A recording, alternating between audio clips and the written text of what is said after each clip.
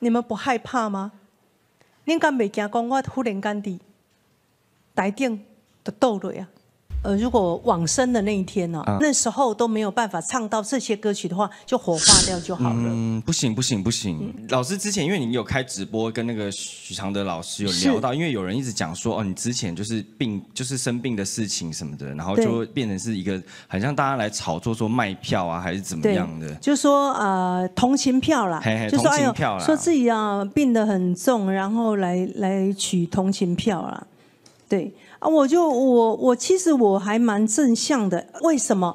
我我一个好好的演唱会，然后卖票就自然的售票而已，关歌手什么事情呢？嗯歌手需要牺牲到说，呃，去去做一些诈骗的事情来诈骗你的票吗？对啊，我我我觉得这个逻辑不通啦。是是是，对，所以我才会那天才会直球对决。但这样的故事会让我警示到说，我不能用责怪呃任何人的角度去看待这件事情。是哦，纵使你认为说雅文你生病了啊，生病怎么样？生病很伟大吗？当然不伟大啊，生病很委屈耶。我觉得生病很委屈耶。那我如果用生病来骗你的票，我那我觉得我更委屈了。而且还要这么辛苦的在台上唱歌，哎，为何呢习，？对呀、为何呢？啊没有必要，而且这是一个很不聪明的做法。是如果要用生病的这件事情来骗取你的同情票，很不聪明。嗯，因为生病是既定的事实，它改变不了。我那个病是不会好，这个是这个就不用再宣传了，它绝对不会好。那不会好，我要看开啊，我要正向啊，我要正向的思考，正向的面对啊。是是我不需要你在落井下石啊。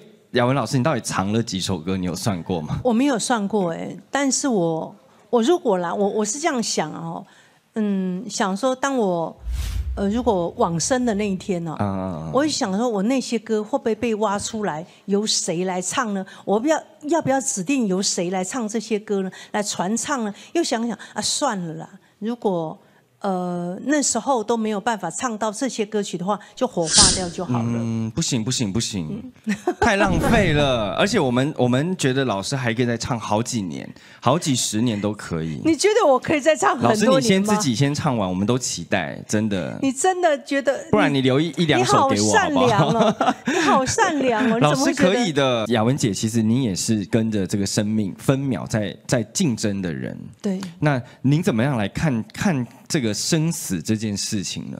我从得知自己得到了帕金森以后，我就知道我的生命在过秒关，我玛丽圣六啊，我不知道哪时候会恶化到什么程度。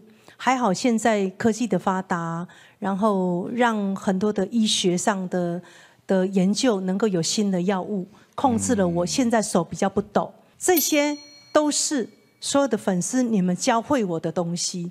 当你们给予我生命的力量的同时，我不能放弃我的生命。嗯，我应该更加的去珍惜说，我我怎么样过好每个秒、钟、点，我要怎么样去过好这些时日？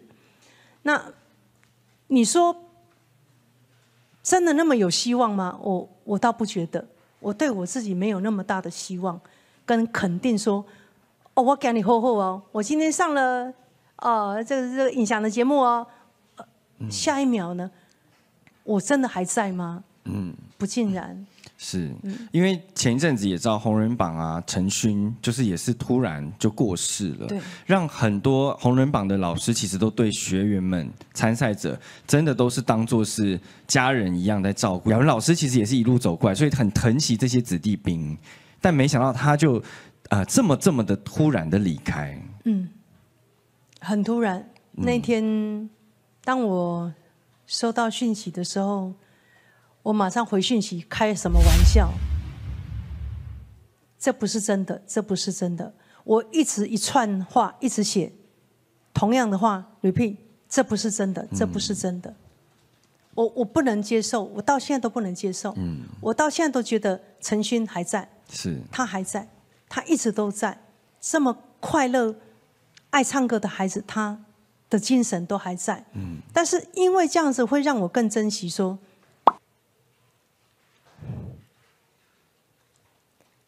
当我还能够用这个身体发声、发音、说话，我爱丁秀我爱拿熬，我爱丁秀，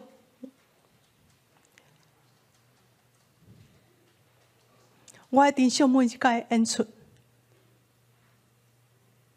我不敢想象我还有演唱会，但是当主办单位来邀请我的时候，我说：“你们不害怕吗？你敢袂惊讲我忽然间的台顶就倒了呀？”他说：“姚文姐，你可以的，你可以的。”可是我说：“我不，我不觉得我可以，我没有一天觉得自己可以。”我都是假装坚强，假装勇敢。我假装了很久，我一直在假装。但是这个假装可以装多久？等到陈训的事情，他压垮了我，我不能去接受这个事实。